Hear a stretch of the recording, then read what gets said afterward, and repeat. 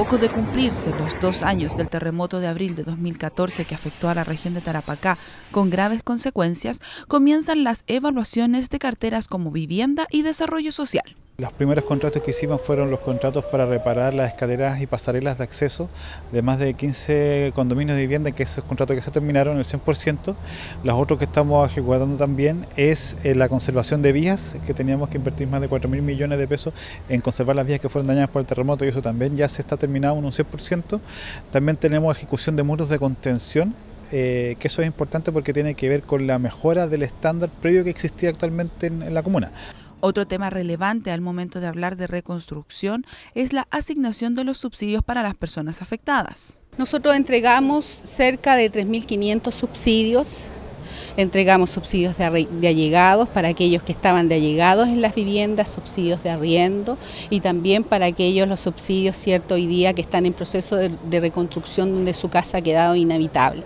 Hoy día podemos decir que estamos también, seguimos entregando alrededor de 1.500 subsidios a, a la familia de nuestra región. Frente a esta situación, el Ceremi de Vivienda aclaró que para iniciar algunas de las obras es necesario asegurar otras y así dar inicio al trabajo definitivo. Por ejemplo, de reconstrucción de vivienda, que primero tenemos que hacer el muro de contención para poder después volver a construir en, ellas. Ahí, por ejemplo, ahí tenemos más de 83 eh, muros de contención, de eso ya hemos terminado 38, eh, está ejecutado el, resto y tenemos 7 que están eh, por, empezar y el comienzo de esos es una vez que terminamos de ejecutar algunos porque son contratos que van en línea. Frente a los avances concretos de la región, desde Desarrollo Social se destaca la importancia que ha tenido todo el trabajo, generando protocolos de referencia para todo el país. Este ha sido un trabajo eh, con, muchas cosas que se nos han ido presentando en el camino, pero muy asistido. Yo creo que aquí el gran valor que hemos sacado, que hemos sacado nosotros como gobierno regional, como Seremía, es ya estar preparado para, un, para estos casos de la naturaleza que nos presenta y que realmente nos complicó mucho como región. Otro aspecto ha sido el mejoramiento de espacios comunes en los barrios y conjuntos más afectados por el terremoto, en donde ya hay más de 3.000 familias beneficiadas como para reconstrucción de viviendas eh, y también incluye la reparación de los espacios comunes de condominios de vivienda social. Eso llega más o menos a los 12.500 más o menos subsidios entregados. De esos hemos ya terminado más de 3.600, hay más de 6.000 que están en ejecución y 2.000 que deben estar por, eh, comenzar su, su trabajo.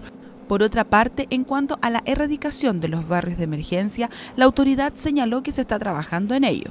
El proceso reconstructivo no es solamente la reconstrucción de vivienda o la reparación de vivienda, sino que también, cierto, entregar la posibilidad a estas viviendas de, emergencia que yo quiero destacar, que se la, e, el, e, elevó el de vivienda, si bien es cierto, no son las mismas condiciones en las que ellos se encontraban, pero sí se elevó el estándar para que estuvieran mejorando la calidad de vida. Por el momento, aún no hay fecha definitiva para terminar con estos barrios, pero ya hay conversaciones con los propios dirigentes para definir y con concluir el tema de reconstrucción.